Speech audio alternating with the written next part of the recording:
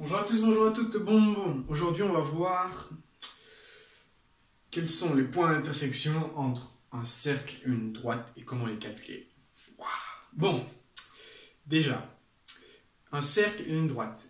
Combien peut-il y avoir de points d'intersection Au maximum, au minimum, enfin, on va voir tout ça. Bon, déjà, on va prendre un cercle.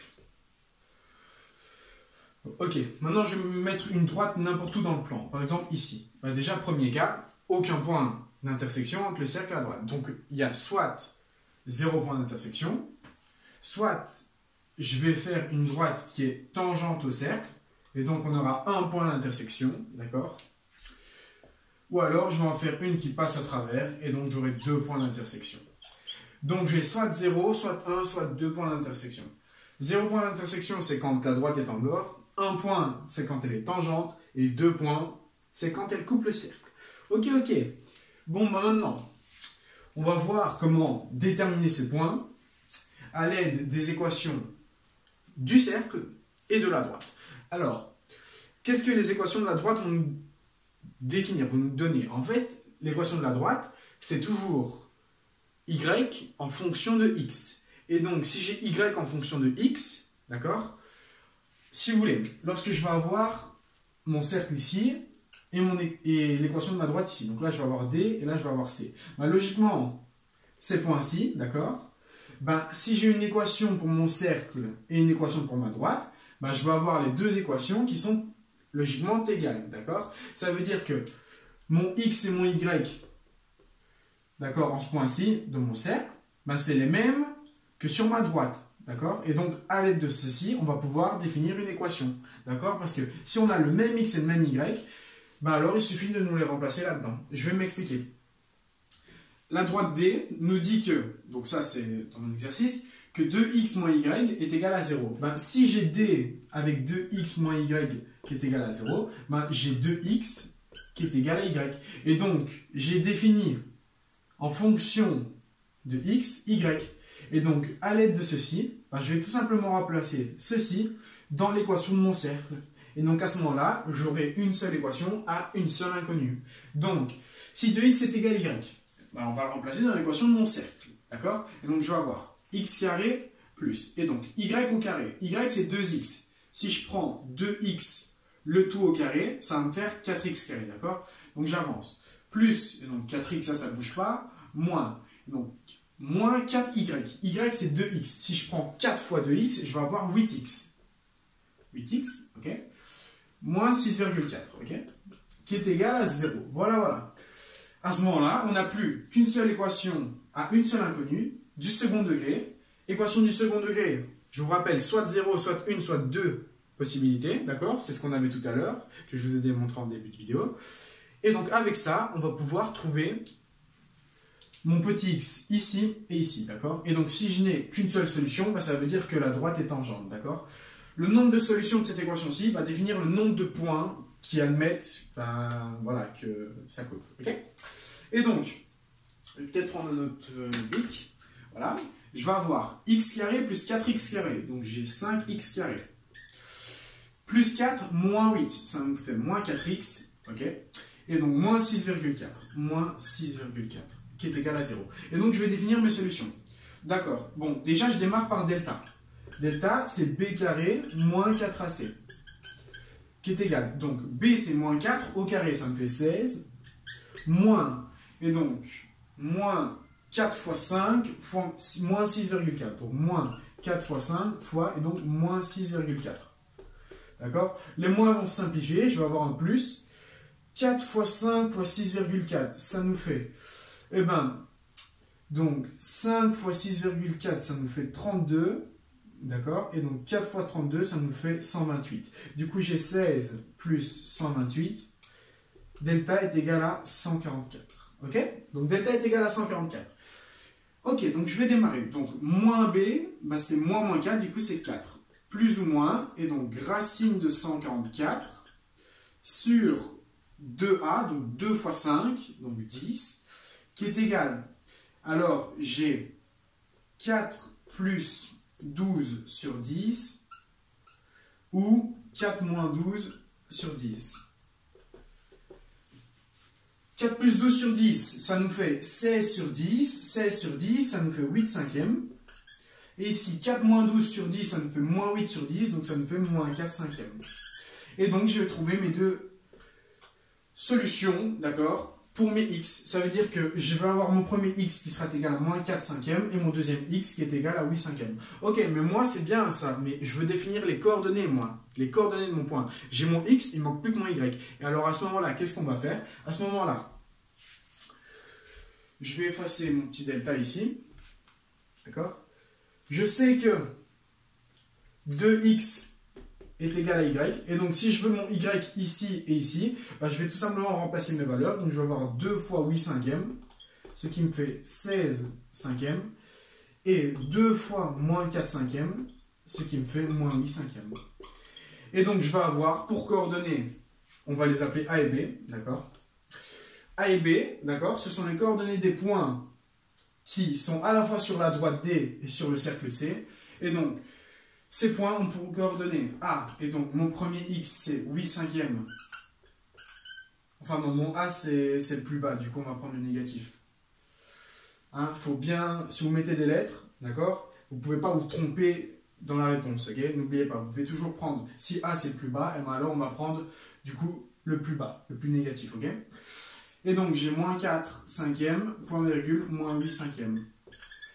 Et B qui correspond à 8 cinquièmes, 16 cinquièmes.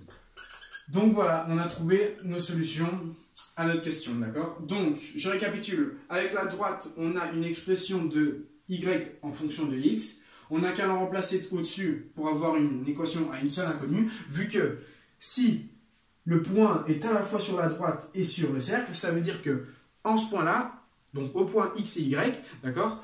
Ben, le x et le y sont égaux, c'est normal. Si j'ai le point là qui est le même, ben, un point, ça reste un point, ça a les mêmes coordonnées.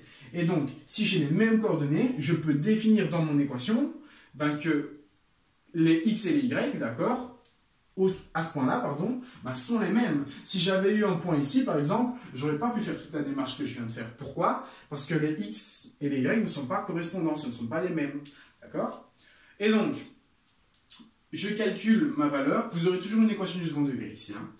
Donc, j'utilise delta, d'accord, donc tout ce qu'il faut. J'ai fait des vidéos là-dessus si vous n'êtes pas à l'aise. Ensuite, 8 cinquièmes moins 4 cinquièmes, ça c'est les x. À l'aide de l'équation de la droite, vous retrouvez les y. Et voilà, vous les écrivez. Voilà, voilà. Donc ça c'est pour le premier cercle. Et quand on a deux points d'intersection. Alors, qu'est-ce qui va se passer quand on aura... Merde, bon, c'est pas grave, je gomme quand même. Qu'est-ce qui va se passer quand on aura zéro point d'intersection Zéro point d'intersection, ça veut dire que lorsque vous allez avoir votre équation, d'accord Donc quand j'ai défini, donc quand j'ai remplacé mon y que je l'ai mis là-dedans, d'accord Et donc que j'avais ça qui était égal à 0, et eh ben cette équation-là n'aura pas de solution. Et donc si elle n'a pas de solution, ça veut dire qu'il n'y a aucun point d'intersection. Voilà, bon, maintenant, comment on va faire? Je vous invite à le faire de vous-même ici, d'accord? Donc c'est un autre cercle et une autre droite. Et donc, vous allez pouvoir définir les points d'intersection, enfin voilà. Ok? Bon, je vous laisse mettre la vidéo en pause et puis on le fait tout de suite. Ok, ok, bon voilà. Alors, je sais que x-6 est égal à 0. Qu'est-ce que ça veut dire? Si x-6 est égal à 0, en fait, on va avoir une droite qui est perpendiculaire à l'axe des x, d'accord? Ça veut dire que ici, je vais avoir ma droite, d'accord? Et donc, en x, je serai à 6, d'accord? Et donc, pour tous les points, d'accord, j'aurai toujours x moins 6 qui est égal à 0. Voilà, donc déjà, on a défini par cette équation-ci qu'on va avoir une droite perpendiculaire. Ok, maintenant, combien a-t-il de points d'intersection? Si x moins 6 est égal à 0, on peut définir que x est égal à 6. Et donc, si x est égal à 6, on va le remplacer là-dedans. Et donc, je vais avoir 6 au carré, plus y carré, moins 4 fois 6, 4 fois 6 c'est 24, d'accord? Moins 2y, moins 11 qui est égal à 0. Ok, donc on a mon x et maintenant je vais essayer de trouver mon y, d'accord? Parce que ici je n'ai pas une expression comme j'avais ici, d'accord? Où j'avais y en fonction de x, d'accord? Je vais devoir trouver x, trouver y, pardon, à l'aide de cette équation-ci. Donc 6 au carré c'est 36, donc, je vais réécrire ça dans l'ordre. Je vais avoir y carré moins 2y. Et donc j'ai 36 moins 24 moins 11, ça nous fait plus 1, d'accord Qui est égal à 0. Ceci, j'ai même pas besoin de faire delta parce que c'est un produit remarquable. J'ai tout simplement à faire y moins 1 au carré, c'est égal à ceci, d'accord C'est le produit remarquable qui est égal à 0.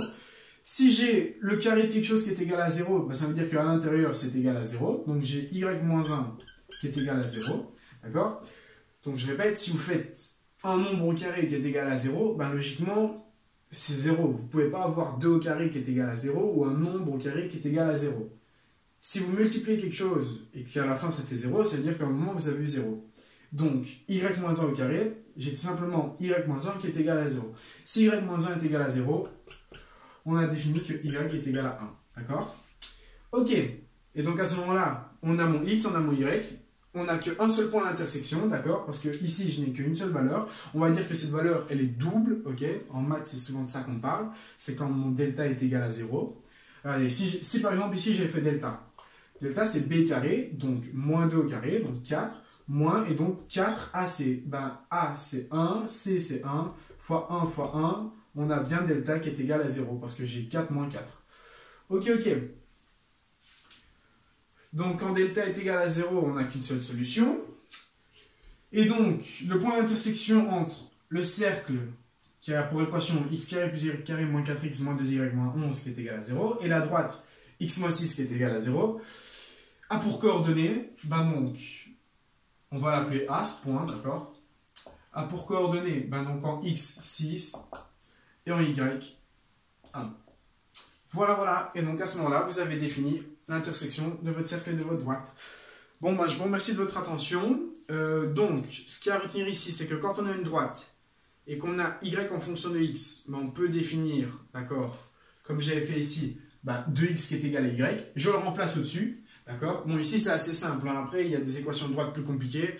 Vous allez, ah, par exemple, avoir 2x euh, moins 7y plus 3. Donc, à ce moment-là, il va bien falloir isoler le y. D'accord Si j'avais eu ici 2x moins 3y plus 4, qui est égal à 0, à ce moment-là, ben, je devais exprimer y en fonction de x. Du coup, ben, je vais passer mon y de l'autre côté. Je vais avoir 2x plus 4 qui est égal, et donc moins 3y, ça devient 3y. Et puis je divise par 3, donc je divise par 3 ici, je divise par 3. Et donc je vais avoir y qui est égal à ceci. Et donc je vais devoir le remplacer là-dedans. À ce moment-là, ça va devenir plus compliqué, plus complexe. Pourquoi? Parce que vous allez devoir faire le carré de cette parenthèse, puis 4 fois cette parenthèse. Mais donc au final, vous allez toujours retomber à une équation du second degré avec comme inconnu x. D'accord? Et donc, je sais c'est long. Généralement, il n'y a pas beaucoup d'exercices comme ça aux examens. Bon, du coup, il n'y aura pas d'examen, mais Enfin voilà, c'est quand même bien à savoir, surtout si vous n'avez pas bien réussi le début de l'année. Il faut vous remettre dedans, d'accord? Bon, je vous remercie de votre attention. Et euh, alors ici, euh, vous pouvez tout simplement inventer des valeurs si vous voulez vous rentraîner. Hein. Il n'y a pas plus simple que ça. Vous mettez juste des nombres, des chiffres, voilà. Et vous avez votre exercice que vous pouvez faire tout seul. Voilà, voilà. Et si vous en voulez plus et que vous n'avez pas envie de enfin, voilà, faire ça, vous venez me trouver sur Instagram, vous me demandez et je vous envoie 2-3 exercices, bien évidemment, que je corrigerai après. Bon ben voilà, à bientôt.